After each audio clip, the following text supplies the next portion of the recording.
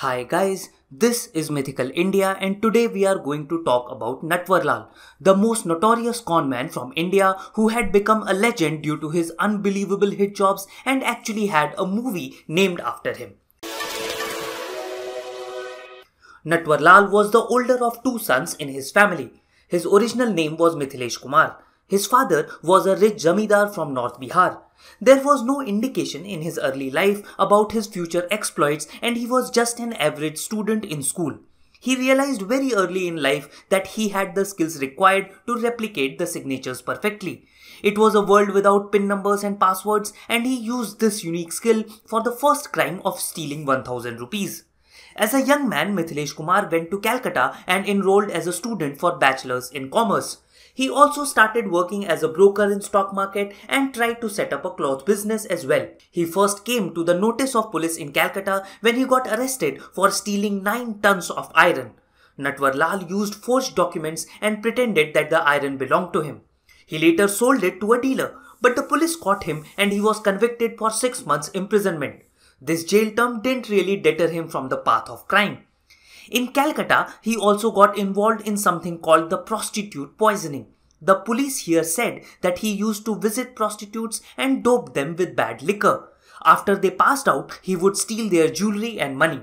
However, due to the risks involved in the operation, he stopped this very soon.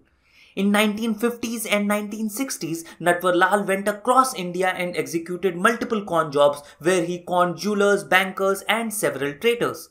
What made him unique was his meticulous planning for each strike with each minor detail accounted for. This included perfectly forged documents, lavish housing and luxury lifestyle. At one point of time, he was wanted in 7 Indian states with 30 different names. His modus operandi usually was to pose as a government official or a rich businessman and complete the con job. Once he had posed as D.N. Tiwari, who was the personal assistant to the then Union Finance Minister N.D. Tiwari. He went to a watch dealer in Connaught Place in New Delhi and told the owner that he was looking for watches as presents for members of Congress Parliamentary Party. He told the proprietor to pack 93 watches the next day and said that he would issue a bank draft against it. He later gave a forged demand draft which owner realized only after two days. Natwar Lal had an extensive knowledge of banking and stockbroking which really helped him in his small hastes. He would also claim consignment of goods on railway stations that he thought had potential through impeccable documents and checks. He would later sell these consignments to unsuspecting parties. He is reported to have done this con with a Gujarati partner called Natwar Lal, which is how the name also stuck with him. For more than five decades, his name had become synonymous with cheating and cons in the country. He actually liked to portray himself as a modern era Robin Hood and loved to claim that he robbed only from rich and gave the money back to the poor. He is said to have believed that he was in some divine mission.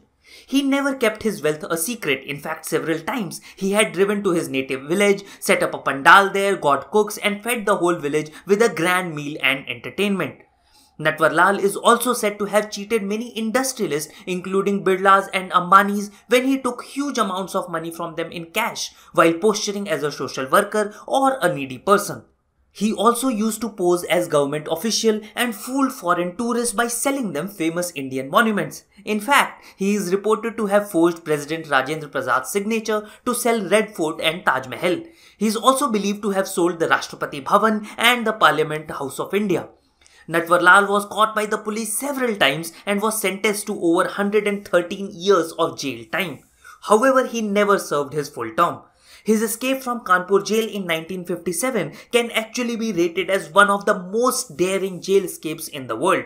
For the jailbreak, he had a sub-inspector's dress smuggled in and got his guards to open the door by giving them a suitcase filled with money. Natwar Lal actually walked out of the jail wearing the uniform and when the policemen opened the suitcase, they found it to be full of newspapers. He was seen for the last time at New Delhi railway station in 1996 while he was being transported from Kanpur to AIIMS for treatment. He managed to vanish from wheelchair at 84 years of age. His date of death is also uncertain since his brother has claimed that he had buried Natwar Lal in 1996 but his lawyer had said that he was alive till 2009. His daring acts can really be compared with some of the most notorious criminals like Frank Abagnale and Victor Lustig. This is Mythical India and we will be bringing to you stories about Indian history, culture and people.